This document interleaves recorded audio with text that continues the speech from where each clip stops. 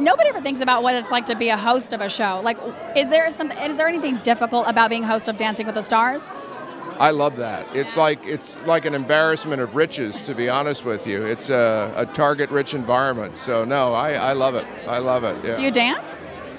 With enough tequila, yes. Yeah. Yeah. Yeah. Can't we all, right? Yeah, exactly. Right. Exactly. And how did you become involved with this today? Uh, I, Nancy uh, uh, Alspaugh Jackson is a friend of mine going way back to our days working in Boston television. Wow. And it was through her that I became involved. Oh, yeah. How did you become involved? Uh, well, I've known Vin for uh, many years. In fact, before America's Funniest Videos, uh, we did a show together called Animal Crack-Ups, a kids show for ABC. So uh, we go back a long way. So I pretty much do anything uh, uh, that Vin's involved with. My brother produces his show, America's Funniest Video, and uh, there's a, a, a quid pro quo uh, for kids organizations, and we all kind of take turns doing each other's charities.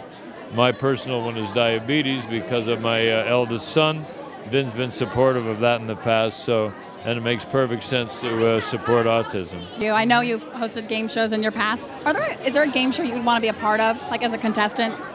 Uh, well, I'm, I'm a bit of a, a trivialist myself. I like uh, uh, all, all game shows. Uh, I've produced them, I've hosted them, I've written theme songs for them, and uh, but I I, I uh, think I prefer the ones where you actually have to answer a question. Oh my God, the smart people ones. may- forget may it. not know- yeah, I, I actually brought Alex Trebek to this country. No. Yes, he's a friend of mine from Canada, and I brought him down to host a show that I was producing at NBC. And then uh, after a couple of years of that, he went on to uh, Jeopardy. But uh, uh, Jeopardy's a little tough for me, but I, I lean in, in more in that direction. Growing up, what did you notice that might have been different for other people or friends of yours that was different? Um, you know, I guess with my brother was he couldn't talk. He still can. He's very low functioning. And when I was younger, um, I didn't. I thought I was a very special kid who could talk, and I didn't realize that other kids couldn't talk. So I went to preschool, and I hadn't really been around many other children. I thought you like reached a certain age, and all of a sudden you could talk, and I had this special ability. And I went to school, and all of these other kids were talking, and it was a shocking thing. It was preschool, and it kind of led me to realize like my brother isn't normal and then that that was how my parents introduced me to autism and what was going on and all of that yeah I really feel like it's finally getting noticed. it is it's great i mean it's about time that somebody noticed it it's it's a huge cause um, and so many kids are impacted and more and more and there needs to be more research and more done to, to promote the cause absolutely yeah We're so happy. This is the eighth Denim and Eighth Diamonds. year. Started in our backyard Right. eight years ago. Uh, before I became executive director, but because the first Denim and Diamonds was such a success, we joined the board, and then a short time later, I became executive director. Wow! Yeah. How proud are you of it? Oh, I'm proud of her.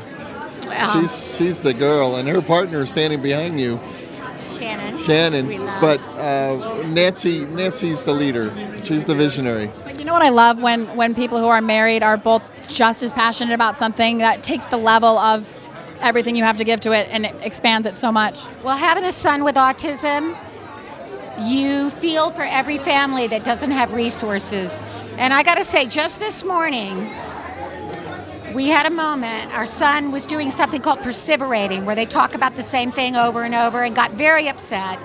And finally, he broke down and cried and let it all out. And we hugged him, all three of us, and Reed turned to me with tears in his eyes. And you said, I said, never lose sight of your mission. You're God's angel. You know, because. Don't make me cry. I gotta have my anyway, we're not making this up. Um, do you ever have people that want you to be that character all the time? All the time. Yeah. Is it in you still though? There has to be part of you that's an angry dude. No, no, it's it's always there. It's always there, and I'm always ready to say no soup for you. Today? Really? Okay, good. What brings you to this event? Is there somebody you know? Are you affected personally, or you just really want to support? Yeah, well, there is someone I know right next to you, Shannon, who uh, is the host of Autism Live. Uh, her husband Jim and I went to theater school together, and we've known each other for 30 years or more, and they have an autistic child. And um, I have some other friends that also do, so it is kind of close. Do you have like a mentor on the actual set? Someone you go to for questions, answers? Well, I mean, it really just depends. For like girl advice, I usually go to my two sisters on the show. Um, What is what have they told you recently? Any advice? I don't know. Um, sometimes they're really good with advice, and sometimes they're really not. Um, sorry, guys, but um, I know they, they recently like gave me some ideas so, like how to like text a girl or something, and I was like freaking out. I was like, guys, this is the worst idea ever. But you know, it's fun. It's, it's Texting is so awful. Everybody does it. I do, but it's so hard when you wait for the response, you don't get it, then you're so frustrated. get it. Oh.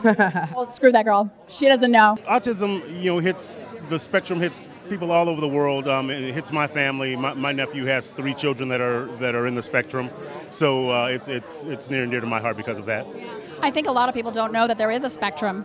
Yes, I mean, there's a wide range of of, of behaviors and and you know.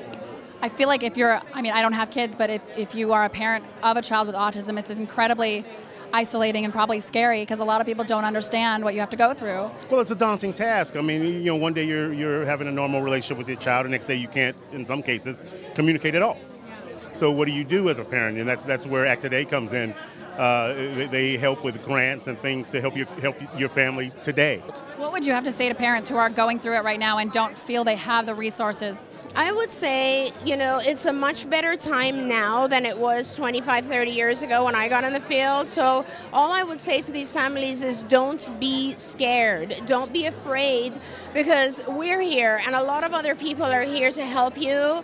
And, you know, 30 years ago, it was a completely different thing. Right now, we have uh, Department of Developmental Services funding, insurance funding, school district funding, and this sort of thing. So, we will help as many families as we can.